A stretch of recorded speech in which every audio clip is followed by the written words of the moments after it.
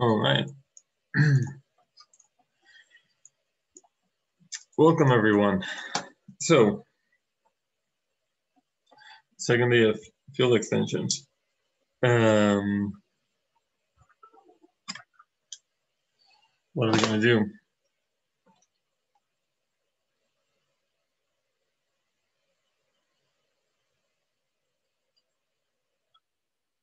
Welcome. So, uh, you know that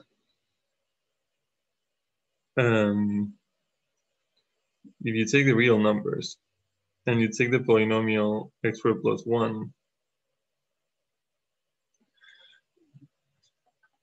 um, you know that there exists a field, there exists a field um, containing R, a field extension of R.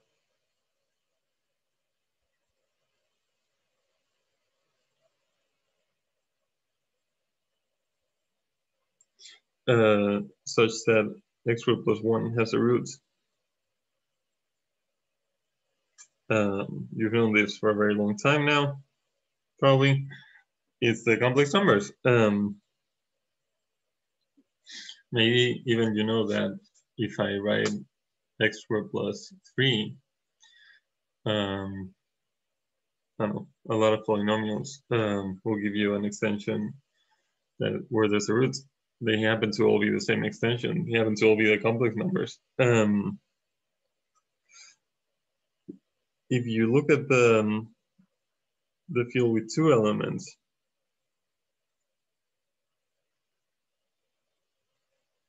we showed on Monday that there exists a field, uh, a field extension of Z2 containing a root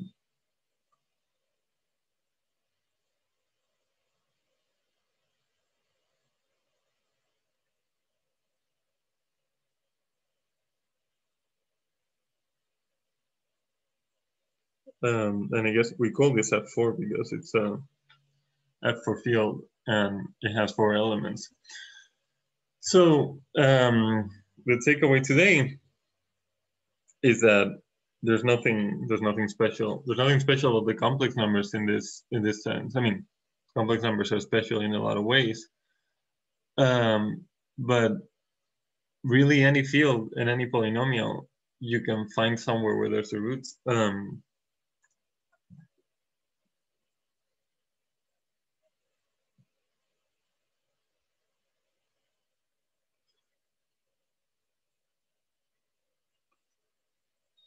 so you take any uh, polynomial that is not constant because constant polynomials you can never expect to have roots unless they're zero. Um,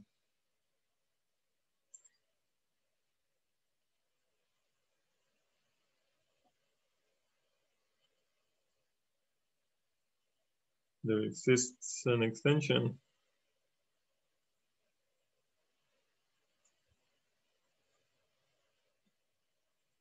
such that f has a root.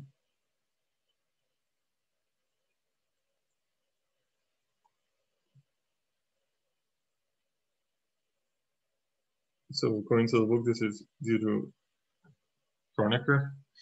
Um, and that's what we're going to prove today. So, um, and I really, I really like this theorem. It's one of my favorite theorems, really. Um,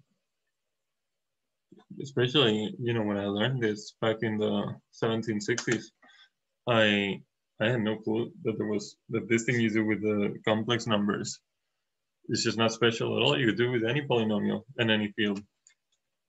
Uh, you take the rationals any polynomial there and, and look at what root you're at. You could take finite fields and do, do this to them. you could take uh, fields of rational functions. Right. So let's go prove this. Um, so uh, we're gonna do what we did um, what we did on Monday. Essentially, it's the same the same idea. So um, so what was that? Does anyone remember?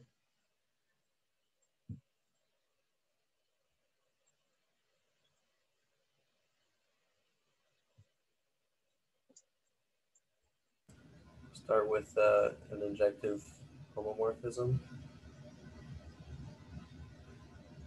I don't know if it's a good starting point, but that's just what I remember class starting off with. Oh, that's not we. That's not where we started. That's I mean we we got an injective homomorphism. At some point we need to get an injective homomorphism from F to E, but to have that we need to find E first. So um,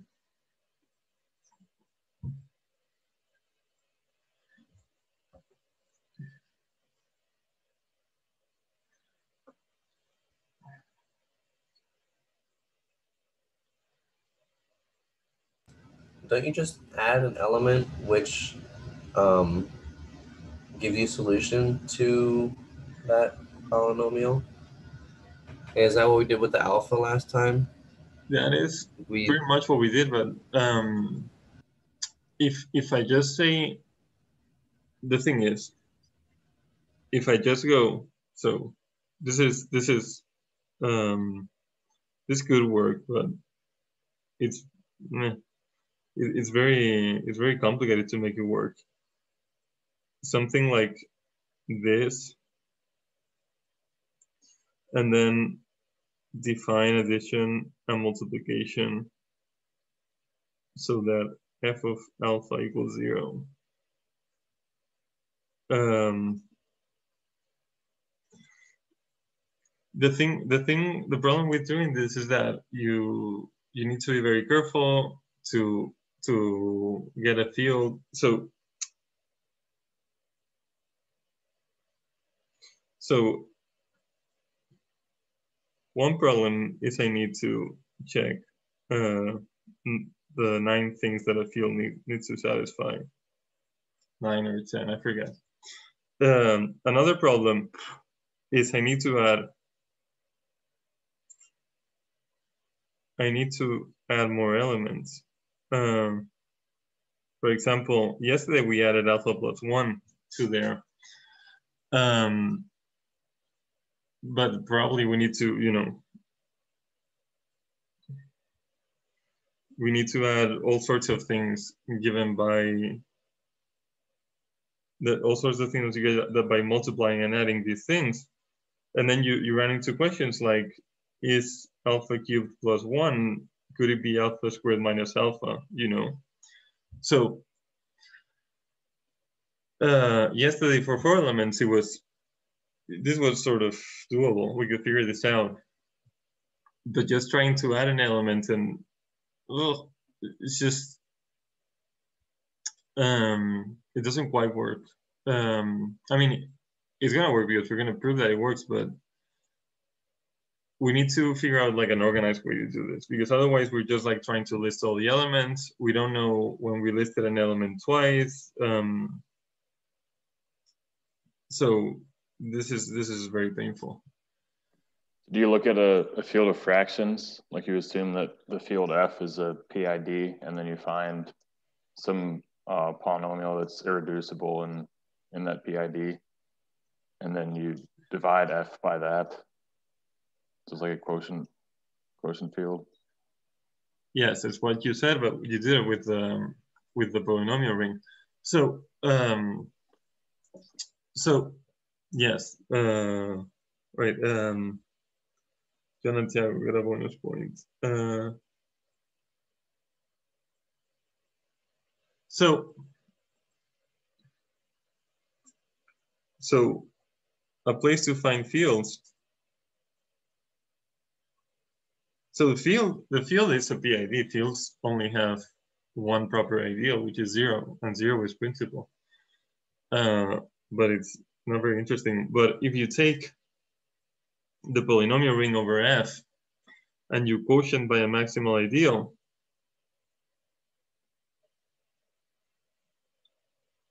um, this is always a field.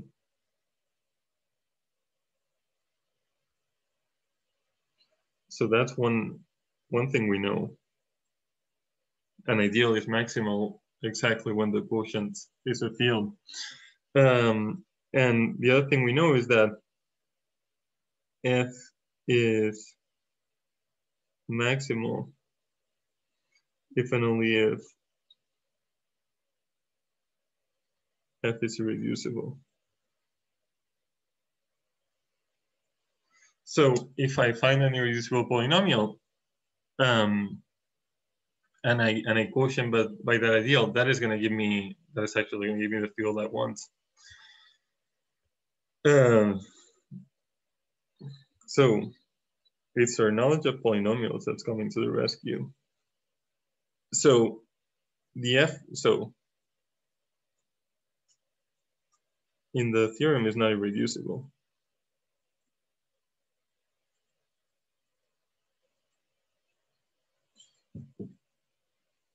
Uh, so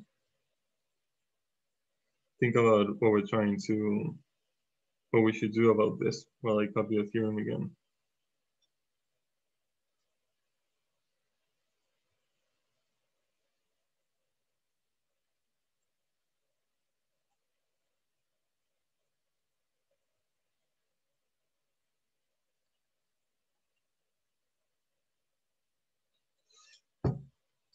So how can we go around this problem? Um, if the if the polynomial is not irreducible, modding out by it is not going to give me a field. It's not going to give me an integral domain even.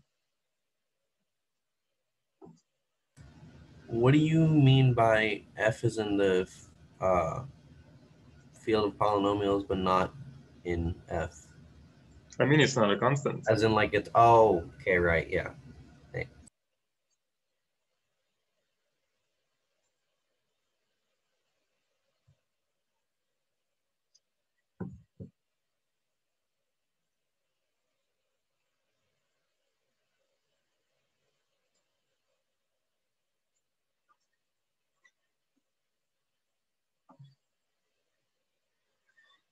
So um,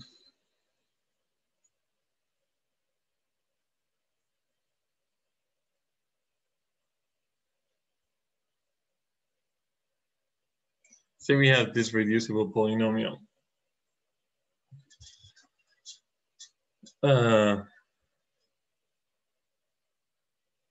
how could I try to get a, an irreducible polynomial from it um, where I'm trying to find a root. Uh, so I'm trying to find a root for f. So how can I reduce this problem to instead finding a root for some irreducible polynomial?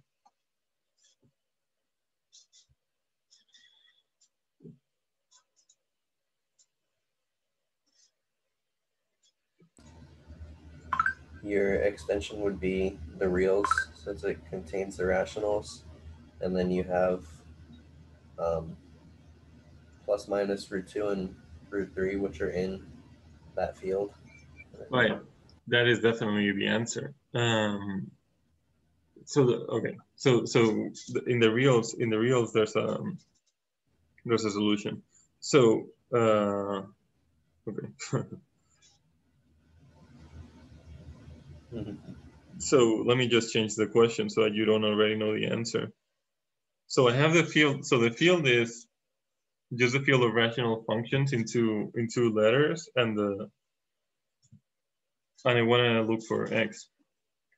So this is still a reducible polynomial, and and no real number uh, plugging in for x is going to give me is going to give me zero there. Really, I'm looking for the square root of y or the square root of z, which are not. So remember, this is rational functions.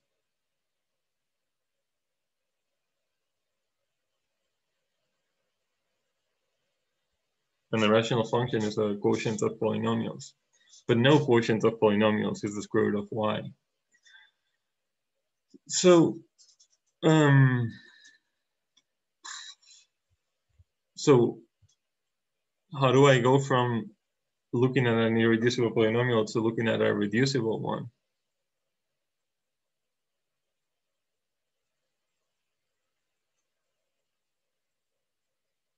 Sorry, the other way around.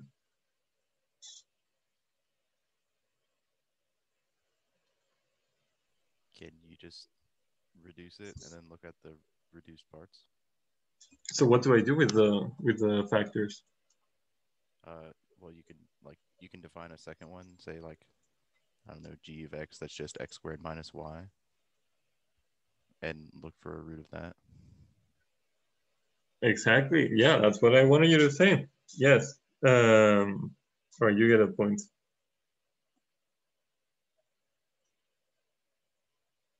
So um, if f is reducible,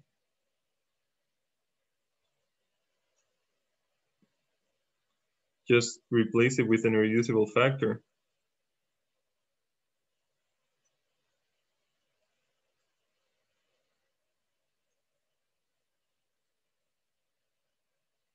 Um, so let's just, I don't know, call it G. So G of X divides F. If G has a root alpha, then f of alpha will, will also be zero.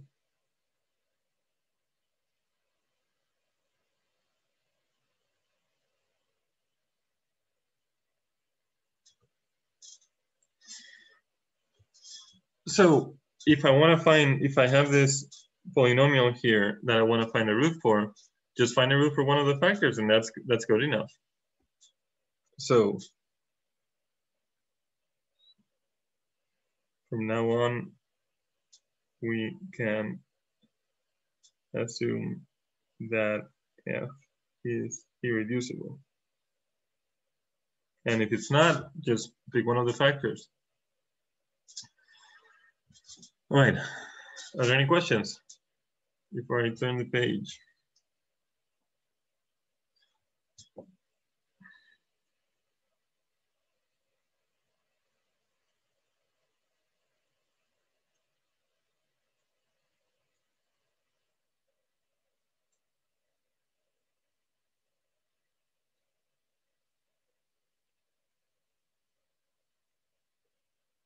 Right. So just this is just the same theorem again. Uh, if you have a polynomial, there's an extension that has a root in it. And f is a field. Uh, okay, so let f be irreducible. Then the ideal it generates f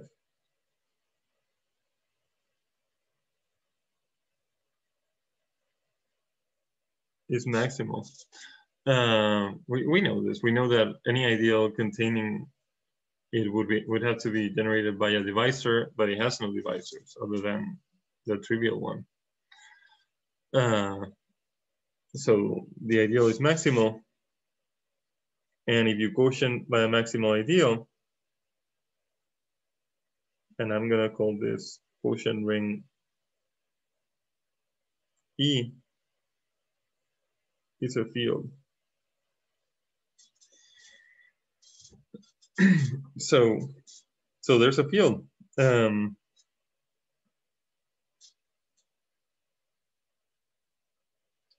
and the elements, just because it's a quotient ring, um, I mean, they're, they're classes, right? So they're equivalence classes. So maybe I, I write them like this.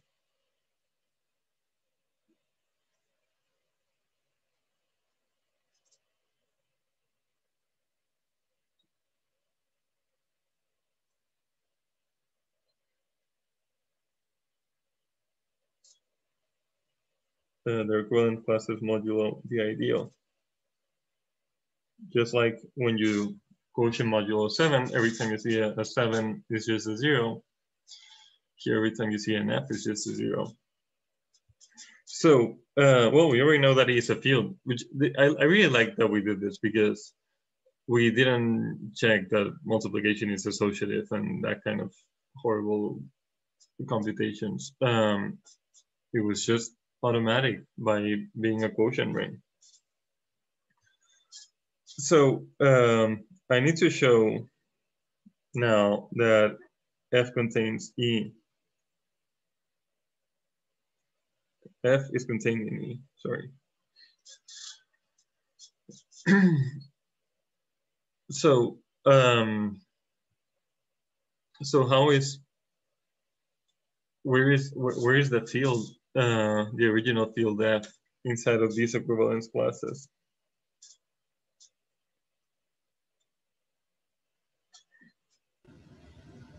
It's the equivalence class was zero. Say it again? The equivalence class was zero. The equivalence class was zero? Well, that- that's just zero, but, um,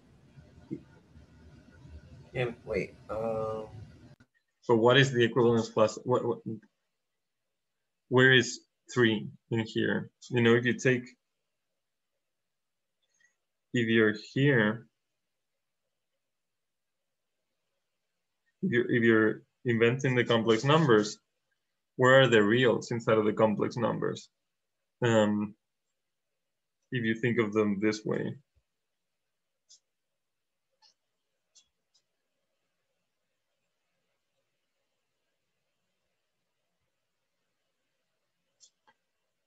So the reals are kind of, they're just polynomials in I, the, the complex numbers are polynomials in I. Um, now, um, how do you know if a polynomial in I is a real number?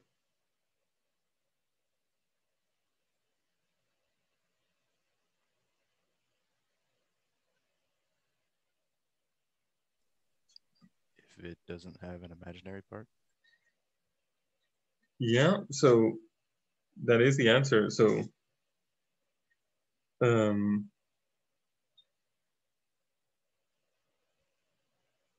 the stuff where the, the imaginary part is zero, those are the real numbers. Uh, so so that was just an example. Um, now the question is, how does this fit in in a in a random field? You have, you know, basically your elements now look like this.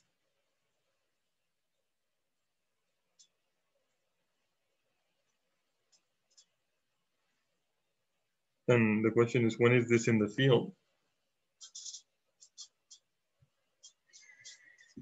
What is the imaginary parts here? Um,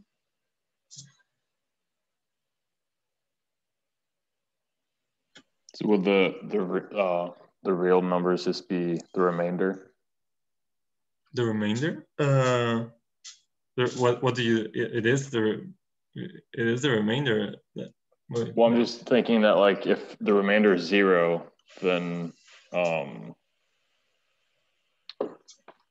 what, like what F- are you dividing by to get a remainder? isn't it the equivalence class of f of x that you're, which So- is not in the original field, but it's in the extension field. Okay, but I'm asking when do you get an actual real number there, right? So, um, what should I say? I don't know. I feel like we're we're getting confused here. What, what I'm trying to say is that uh, constant polynomials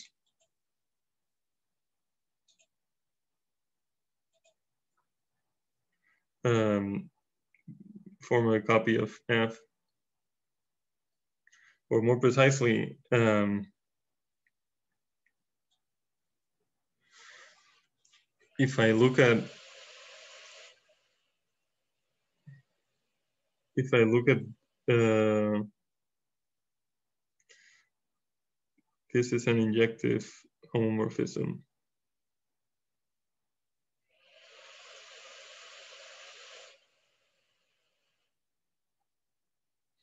So um, you have a, and here you have the constant polynomial a. so if you look at the example of the reals, uh, adding the adding i, you can think of them as polynomials in i and being real. is the same as um, having degree zero. So um, I'm trying to say it's the constant polynomials. Uh, and if you if you think about the complex numbers, they're sort of like polynomials or polynomials of degree at most one, because whenever you see an i squared, that's just degree zero. That's just a negative one again so you have polynomials of degree zero and one.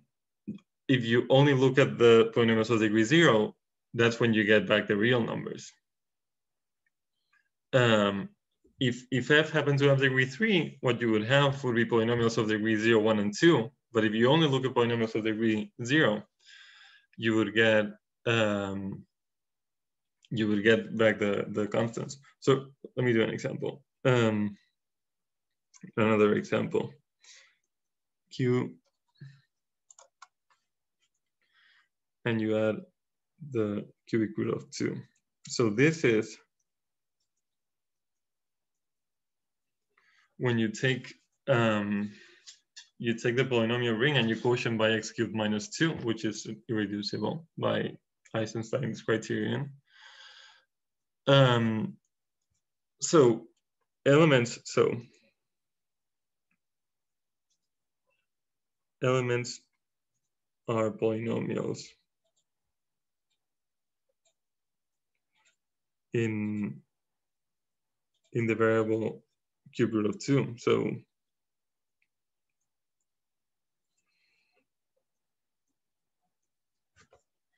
something like this, but when you have a cubic root of two cubed, that's that's just one. That's just uh, two.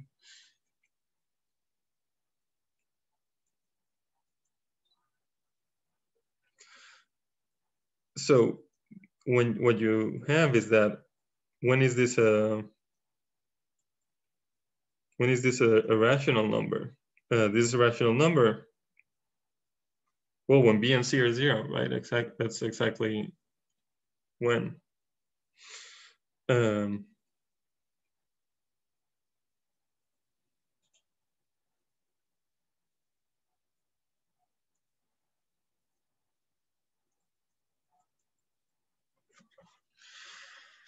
So, in a sense, um, this is like the imaginary part. I mean, nobody calls it that, but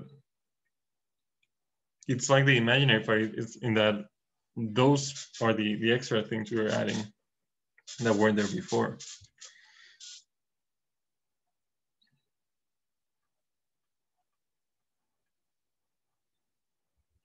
I should call this rational part. And this is the part that is actually a rational number. Okay, so, um, okay. Any questions?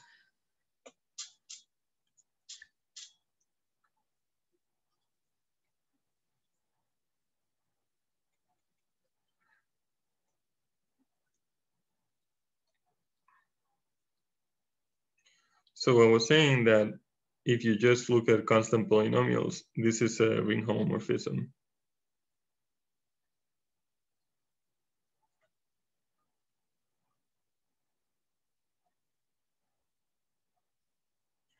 So to be a ring homomorphism, you need to show that uh, adding and multiplying is the same on both sides, and one goes to one.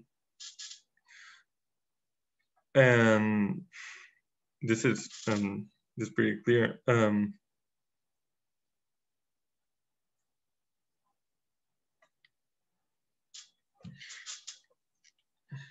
So the book, if you, if you look at the book, it just, um, it just does it. Oh, oh my God, my computer is 96 degrees. Is it even working? Ah. So the book just goes through and does it. Um, if I'm still there, I seem to be still there. 88 degrees. That, that's Celsius. Oof. It's gonna explode. Um, but I can give you another reason why it's a homomorphism, other than just writing phi of A plus B and seeing that phi of A plus B. Um,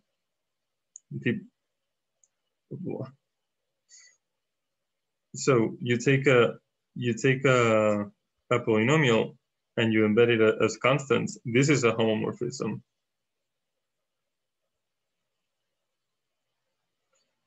And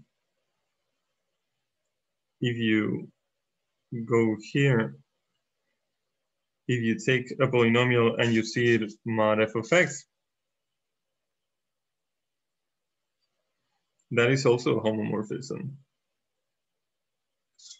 And these, these are both things we know, right? The, that uh, there's a homomorphism from any ring to its polynomial ring as constants. So we're just, I'm just saying that you add and multiply constant polynomials the same way you add and multiply numbers. We know that. And for any ring, the map to the quotient, where you just send everything to its class, is a homomorphism. Uh, and when you compose two homomorphisms, you get a homomorphism. So that is the laziest way I know of showing this. And to show that this is injective, that fits in there.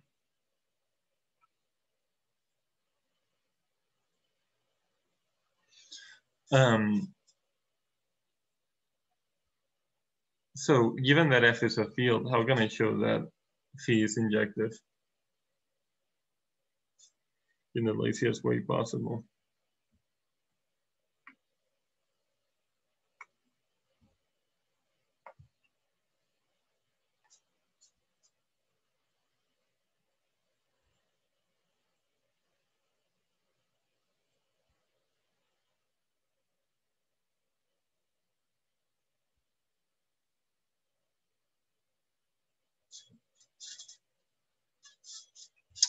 So to show that a homomorphism is injective, I need to show that the kernel is zero.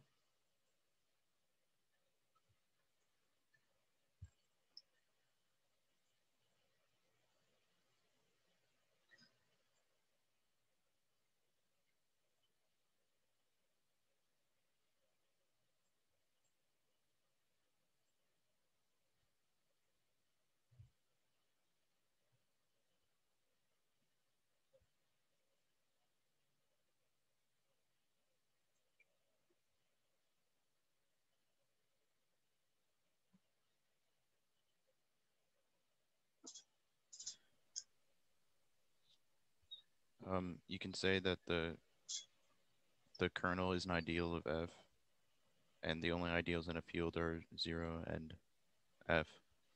Um, exactly, exactly. Yeah, thank you, Mason. I was worried, honestly, with my computer melting. I thought I was disconnected. All right. Um, the kernel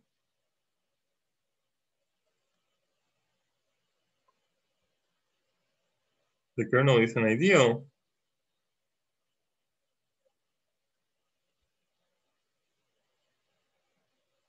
right, it's not going to fit.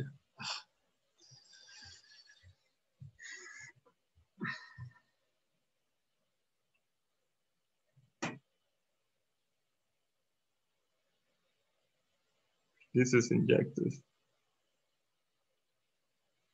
The kernel is an ideal. F is a field. So either the kernel is zero or it's everything.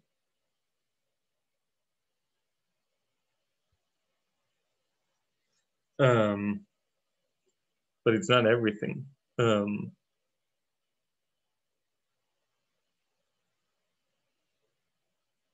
because one doesn't go to zero.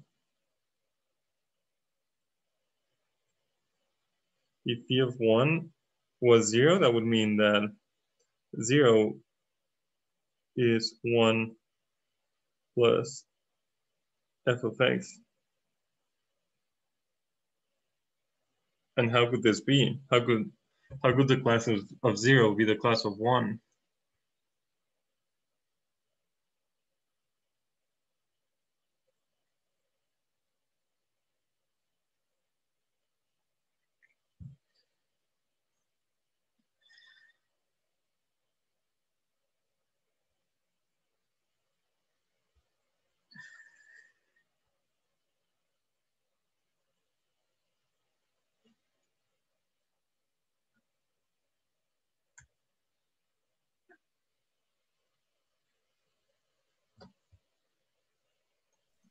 Mean, it, it can't be right if you.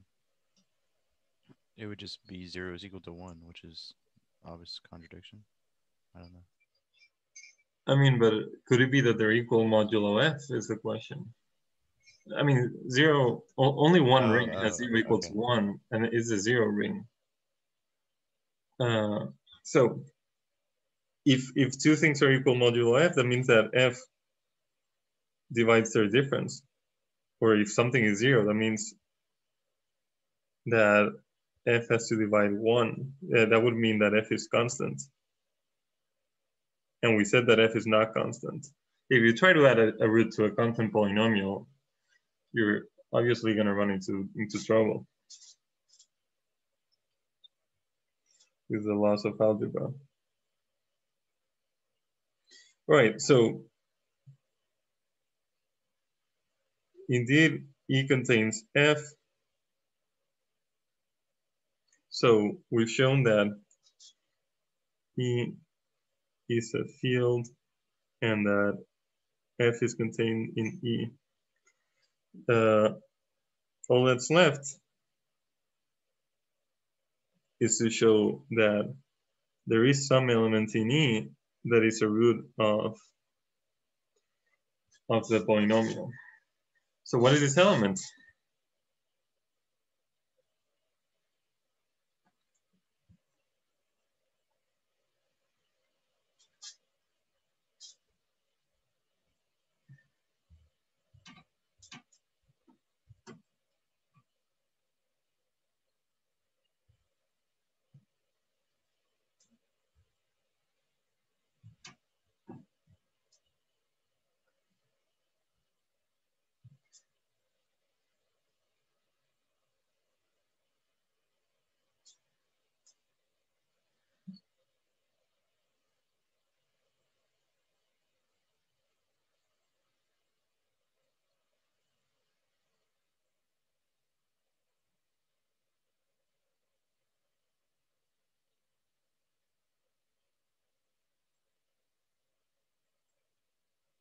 This is just any element that has degree zero, like you said earlier. Um, like a constant? No, uh, a constant. For example, so so let's go back to the complex numbers. Um, if we're looking for, we're, we're here we have things that look like this.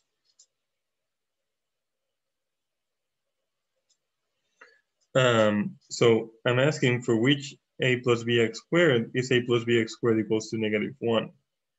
So if you take something of degree zero, you're not gonna have, you're not gonna get a negative number because a is a real number.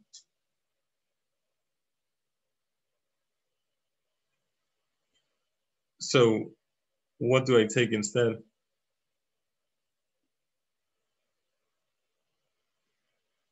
If I think of a plus bx, what other best choice of something in there uh, can there be that will have that, that will square to negative one?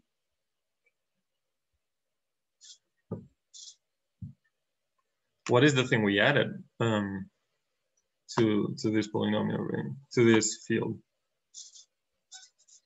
Right. So if I only look at A, that's what we already had. This, this, this new stuff.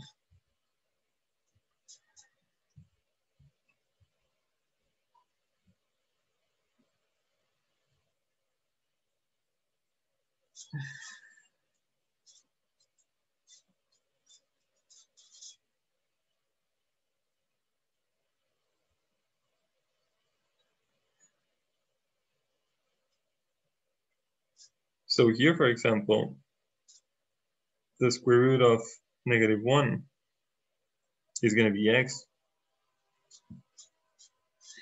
x squared is negative one. Um, x squared modulo of this ideal is the same thing as negative one. So here, well, i equals x.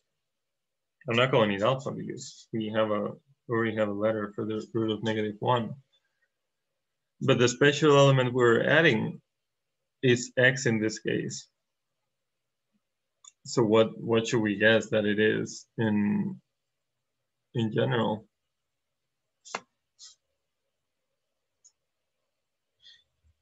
Out of all the polynomials, Degree one polynomial. degree one polynomial, why don't we just say x? Uh, because it, it, the thing is, it's gonna be x. Um, so let's say that alpha is the class of x.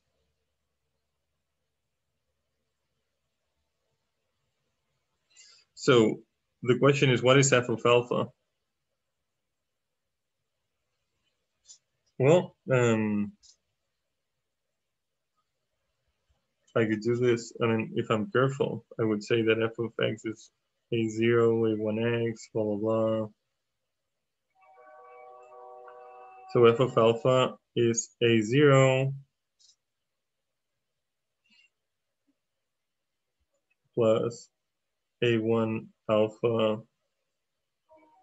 I'm adding all these classes, right? But you know that the way to add things in a quotient ring is to add in the original ring and then just take the, the class. Oh, sorry, it said alpha was a class of X. So A1 alpha is a class of A1X. So what I have is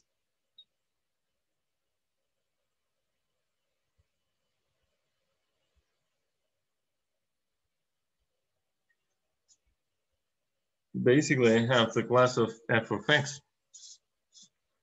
So can I simplify the class of f of x modulo the ideal generated by f of x? It's just a zero plus. It's just zero. Yes. So f of alpha is zero. And, and what, so, I mean, essentially what this proof, so we're done. Um, what this proof was, was really what Tiago suggested at the very beginning. Just sticking an alpha in there or the x in the polynomial ring, ensuring that this relation is satisfied by quotienting by the right ideal and and just making sure that we still get a field. Um, but the, the thing is, if you don't use the machinery that we already have, it, gets it gets tricky. Um, all right. Well, that's the theorem. Are there any questions?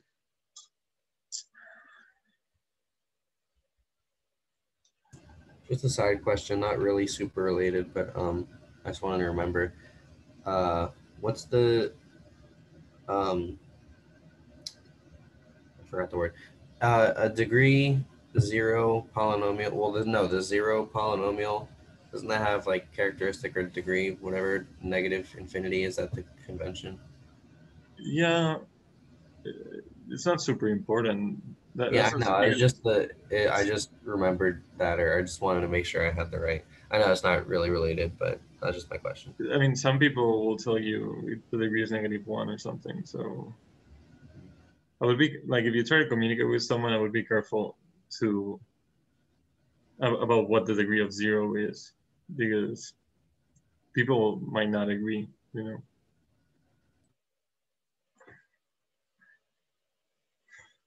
Okay, um, so so every any polynomial has a field extension where it has a root. Um, so now that we know that, um, it's um, I can tell you how to. Well, now we know how to do it. Um, I can tell you how to compute with it. Um, so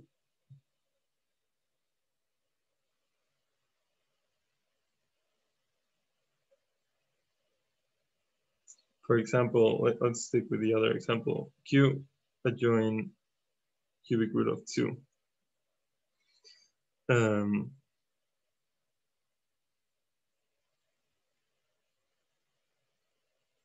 so let's say, um, let's say like before that alpha is the class of X. So the elements are things like the rational number and some other rational number and times cubic root of 2 alpha, sorry. They're polynomials in alpha uh, of degree 2 or less. Um, and you can you can do operations by just replacing alpha cubed by 2 every time you see it.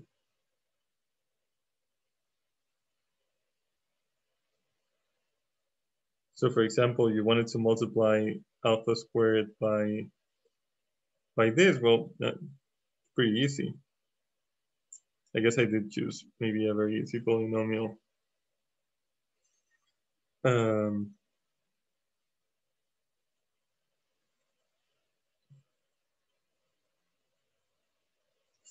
So alpha to the fourth is going to be alpha cubed times alpha. So that's an extra two. And that, and once you do that, you go back to the same form of a polynomial of degree two in alpha.